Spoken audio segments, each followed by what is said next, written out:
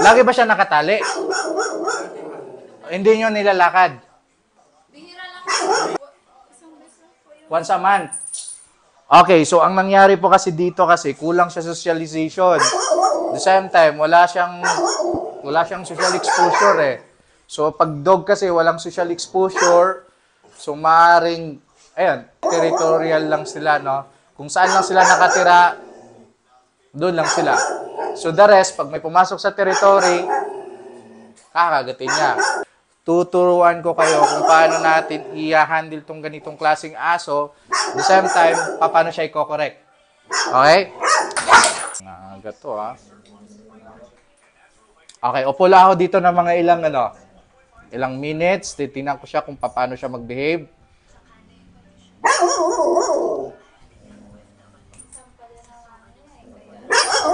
Doy, upo ka dito, Doy, para makita natin paano siya mag-behave. Okay, nervyoso, no?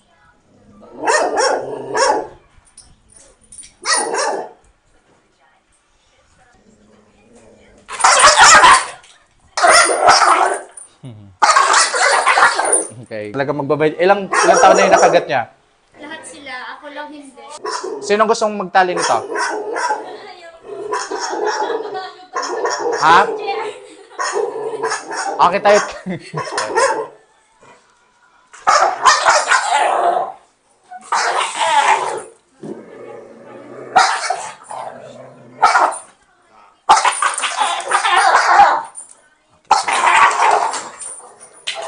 Hey!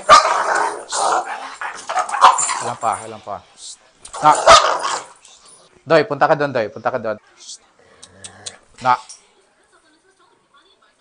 Okay, good, good, good, good. Okay, done. Na. Na. Doy, daan ka, ulit, Doy.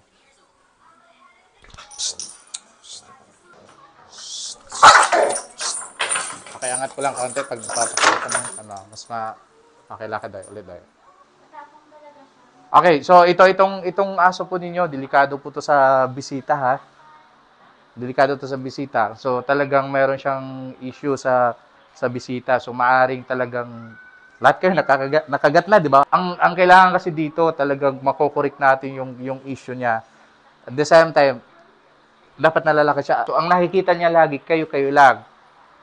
Okay? Then pag may pumasok na tao tulad ng pagdating namin kanina, ano ano po yung ginagawa niya? Kung wala siyang tali, pwedeng sumugod, pwedeng mangagat. Okay? Sige, day, lakad ka, day, lakad ka, day. Pag kinuha yung gamit sa bahay, Na, wala siya.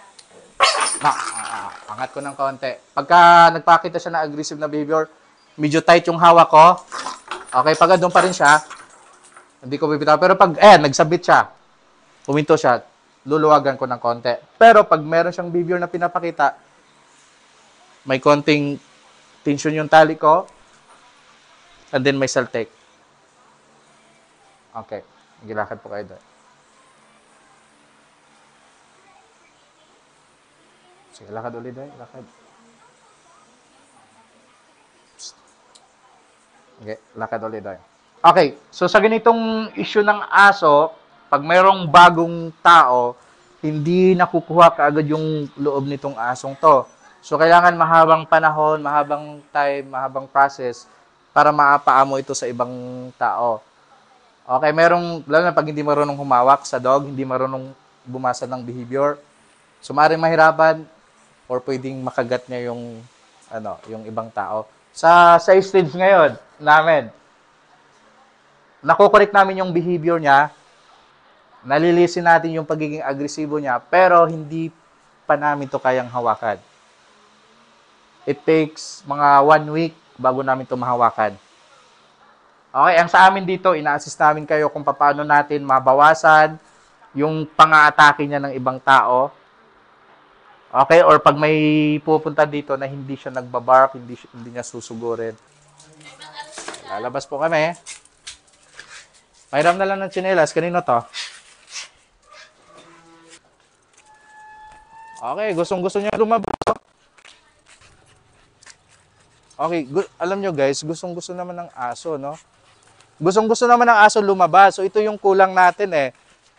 Ito yung kulang natin. Ilalabas natin yung aso para po ma-enjoy niya yung labas. The same time, makakita siya ng iba-ibang tao, iba-ibang aso, yung ganon, para po malisin po natin yung ano, yung problem niya. So nakita ko dito oh, sa assessment natin, wala siyang problema sa labas eh. Doon siya nagkakaroon ng problema sa loob. Bakit?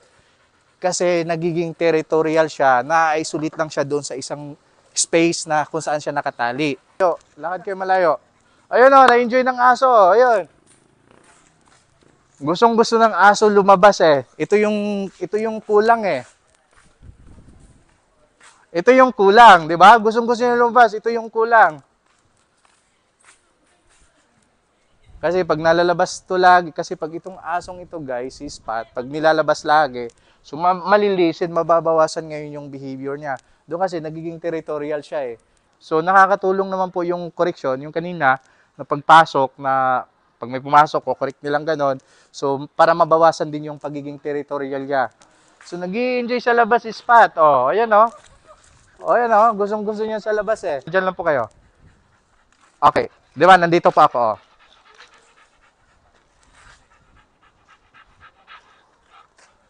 Oh, 'di ba? Ang ang layo po nung behavior niya kaysa dun sa loob. Ah, nagpapakita ba siya ng aggressive na behavior na gusto niya mangagat, 'di ba? Hindi. Kasi dito sa labas kasi nai-enjoy niya. Pag pagdating naman sa loob, mainit yung ulo niya kasi territory niya eh. And then biglang may pumasok, "Oh, sino ka?"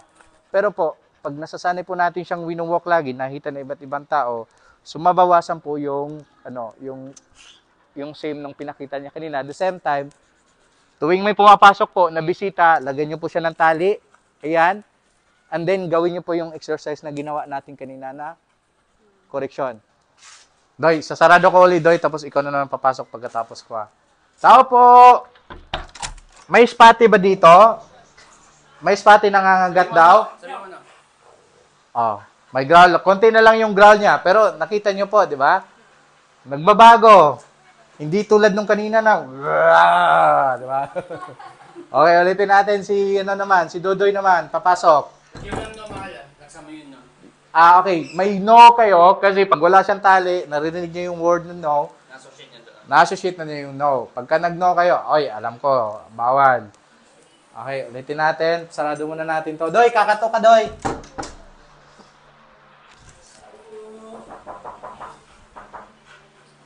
Correct po kayo.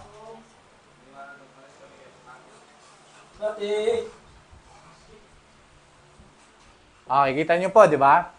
Listen, di ba? Listen. Okay, may na po yung si Spot. Spotty. Nagagalit daw po si Spotty. Galit daw po sa tao si Spotty. No. No. No. No! Okay, baba niya pa. Sir, thank you sir. Thank you po. Thank you. And then, ingat lang din po kayo sa kanya kasi meron talaga siyang problem. Agresibo po siya. Kaya sabi ko po, aalisin po natin yon Aalisin niyo po yon sa pamamagitan ng behavioral modification. Okay, gawin niyo po kung ano yung ginagawa nating exercise, kung mga sinasabi ko, para po tuluyang mabago po yung problema nitong si Spot.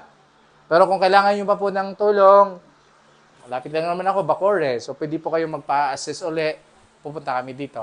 Or otherwise, pwede namin siyang dadalhin, so mag titraining siya doon sa sa place namin. Message nyo lang ako, ma'am, if ever po.